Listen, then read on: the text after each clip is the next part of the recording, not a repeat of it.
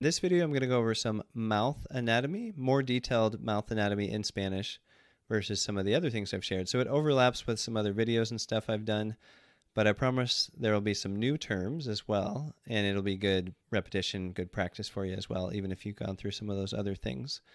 All right, so I'm going to say each term in English, and then I'll say it in Spanish a couple times, and I'll pause in between so you can think about it at first and then say it out loud a couple times in Spanish. All right, so the first term is mouth. How do you say mouth in Spanish? La boca. La boca. And you probably noticed I said the, the mouth. Um, and that's because usually in Spanish, when you talk about body parts, you say the. So it's a little different from English, where we would say, Does your arm hurt? They would say, Does the arm hurt you? Um, like, Te duele el brazo or le duele el brazo, depending on tu or usted. But that's why we're going to say the every time. So just see if you can figure out whether to say el, la, los, las for each term. All right, so the next one is lips. How do you say lips in Spanish? Los labios. Los labios. And for bonus points, how do you say the lip singular? El labio. El labio. All right, next is teeth. How do you say teeth in Spanish? Los dientes los dientes. And if it was just one, it'd be el diente. All right, so next is gums. Las encías. Las encías.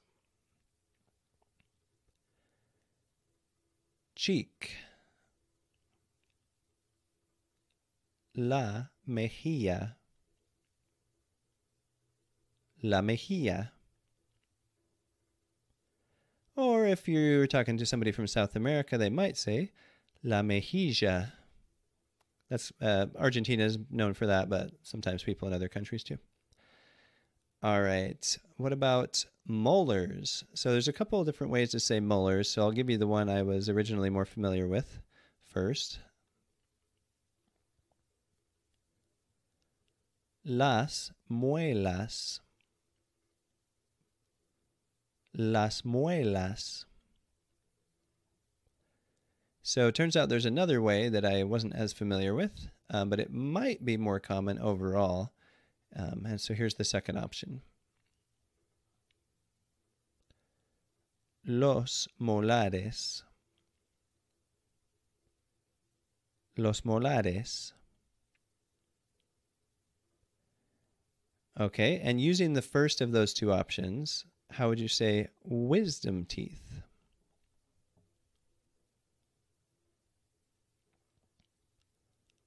Las muelas de juicio. Las muelas de juicio.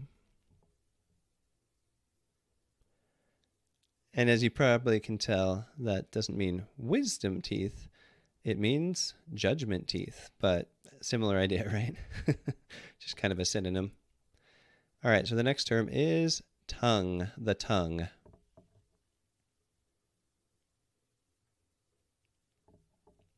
La lengua. La lengua. And FYI, just like in English, lengua can mean a language too, many tongues. All right, throat.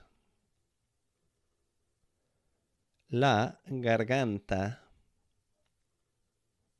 La, garga uh, la garganta. Excuse me. And tonsils. Las amígdalas. Las amígdalas. And this one's not an, an anatomical term exactly, but it's very related.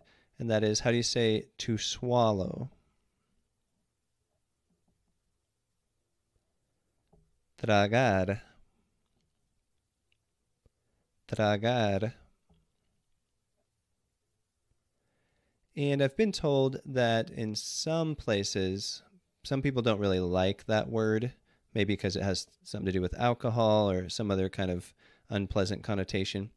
So sometimes people prefer to say pasar, like pasar líquido, pasar comida, pasar agua, so passing something through your throat.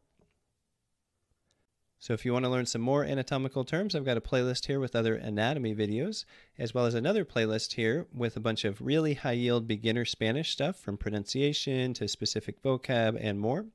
And then if you look in the resources below in the video description, there's some other stuff, some other playlists as well. All right, thanks for watching. I'll see you next time.